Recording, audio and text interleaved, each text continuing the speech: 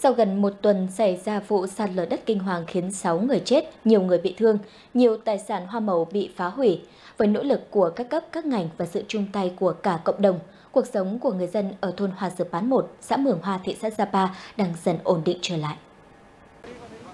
Ngôi nhà cùng toàn bộ tài sản bị đất đá sạt lở bất ngờ vùi lấp hết. 10 thành viên trong gia đình ông Thảo A Phình may mắn thoát nạn, nhưng rơi vào cảnh trắng tay sau mưa lũ. Không đơn đo, anh Giàng A6 đã đưa cả gia đình ông Phình về ở tạm trong căn nhà nhỏ, vốn cũng không rộng rãi của gia đình. Nhà em cũng cho dù là nhỏ nhưng mà với tính lòng thì mọi người giúp đỡ lẫn nhau để vượt qua những cái khó khăn này cũng là một trách nhiệm của bản thân.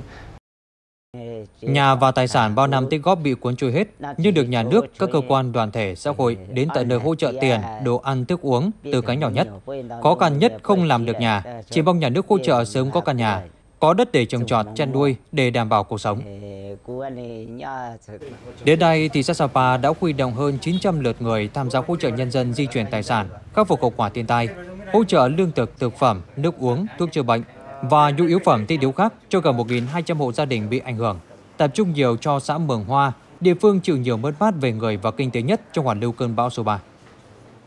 À, xã cũng đã huy động các cái lực lượng như đoàn thanh niên, lực lượng của thôn để tham gia giúp đỡ các cái hộ ờ, mà bị ờ, thiệt hại để, để sớm đảm bảo cái ổn định cuộc sống. Bên cạnh đó nữa thì ờ, các sở ban ngành của tỉnh của của xã thị xã rồi các cái đơn các nhà hảo tâm các doanh nghiệp trên địa bàn hỗ trợ về tiền, hỗ trợ về lương thực, thương yếu phẩm để phục vụ tốt cho người dân. Thị xã Sapa đã ổn định được cái đời sống cho bà con bằng cái việc đó là bố trí cho bà con ở những cái nơi tạm thời và thị xã Sapa đang tích cực để cái việc là bố trí ổn định lại cuộc sống lâu dài cho bà con, xây cất được những cái ngôi nhà ổn định cho các cái hộ bị thiệt hại hoàn toàn về nhà cửa.